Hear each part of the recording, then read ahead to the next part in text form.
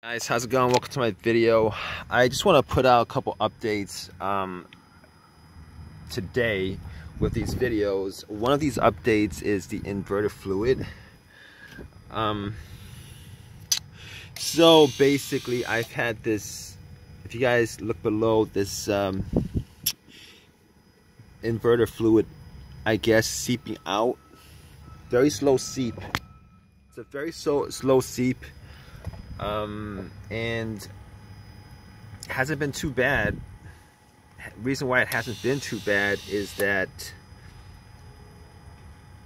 the main reason for that is that uh, there's uh, anti-leak Toyota's anti-leak radiator fluid I think or um, because as you guys can see it actually crystallizes uh, once it gets out now I'm not quite sure exactly where it's coming out from but it seems like this area where this little uh, where the where the nipple comes out of that's where it's coming out of. But outside of that I don't actually see it leaking from anywhere else. And all I did was pretty much fill this up to the full mark. Uh, if you guys don't know about radiator fluid from Toyota I think they're like 30 bucks a bottle. Relatively expensive considering I buy the the uh, I wouldn't say cheap stuff, but expensive stuff from Walmart. Uh, you know, regular radiator fluid from Walmart is like eight bucks. AutoZone is like twelve to fifteen. Uh, Toyota stuff is like thirty bucks, which is, I mean, if you're doing like a drain job on on on radiator drain or any kind of drain, the uh, the fluid for the inverter is the same fluid for the radiator itself, and I mean, I, I was thinking, really thinking about buying the uh, the fluid. The uh, originally, I, I didn't think they were the same thing because I used regular radiator fluid for the radiator. But the inverter fluid, I was told, was used the same kind of coolant. So I went and used that. Bought that because, you know, better OEM stuff than uh, the non-OEM stuff.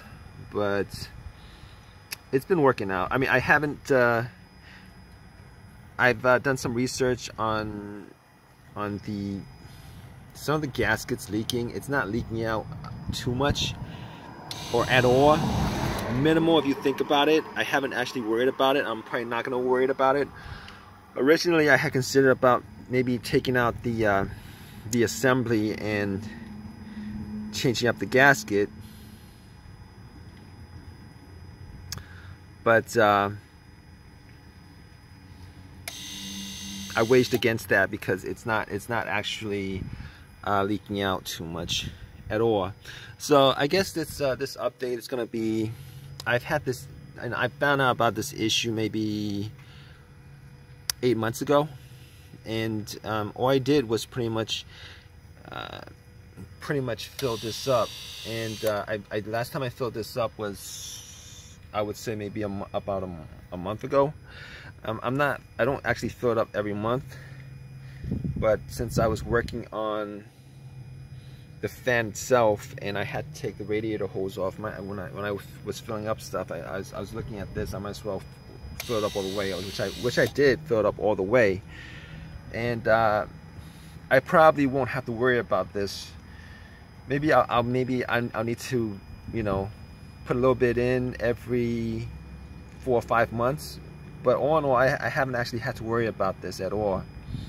Um, if you guys have the same issue, probably not not the biggest of problems. You're not gonna, you know, you're not gonna need um, to redo the gaskets.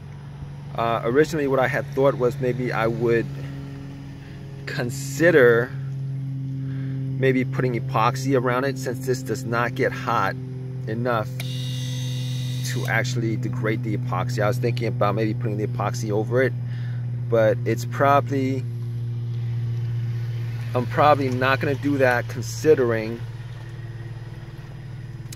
I'm probably not gonna do that considering it's not, it's not, it's not a huge problem. It's probably not going to be a huge problem. It's not a huge problem, probably not gonna be a huge problem at all. So Uh, if you guys have any comments, please leave a comment in the comment section. Please subscribe. Please give me a thumbs up. All right, guys. Take care.